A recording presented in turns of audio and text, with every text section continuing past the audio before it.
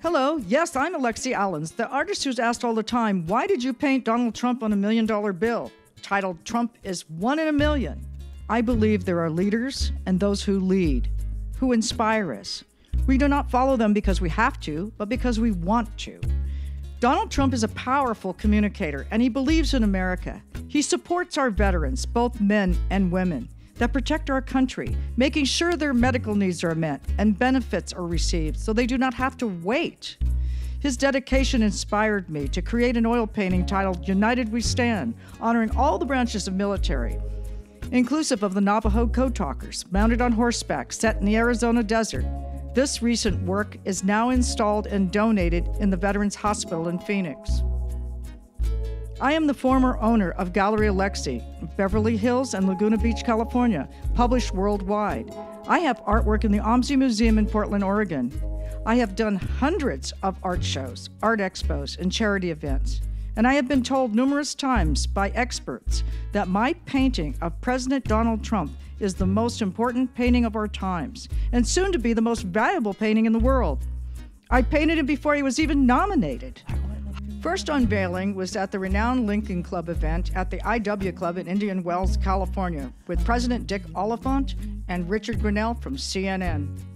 The next event was Trump's Las Vegas, Nevada rally, where I met with him in the lobby after his event at the Trump International Hotel for a photo shoot. And I asked Donald Trump if he liked the artwork. He exclaimed, I love it! The Fountain Hills, Arizona rally for Trump, the police force were turning back cars, telling people he had canceled the event. They lied. I drove through the police blockade, got there, and handed out posters and bumper stickers of the artwork. Trump is one in a million. Now, I realized our freedom of expression was in danger. So I delivered a speech. What if? What if we lose our freedom of speech, of expressing our rights, supporting a candidate for presidency? We need to have a voice without the violent backlash reaction.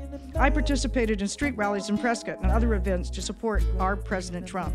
One man stood in a photo shoot with a bag over his head because he was afraid he would lose his job if anyone knew he was for Trump. People loved the bumper stickers, yet no one had the courage to put them on their cars, fearing neighbors would trash their cars. The list goes on and on as we shout, Trump is one in a million. I believe this painting of President Donald Trump is making history and has helped pave the road to the White House. On my wish list, I would like to see the veterans benefit from the sale of this artwork and receive a million dollars plus funds to promote and publish more posters and billboards with this artwork, with his accomplishments. And the original painting to be given as a gift to our president in the White House, Donald J. Trump.